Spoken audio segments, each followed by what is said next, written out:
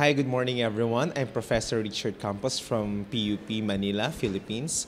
Regarding this conference, it's good.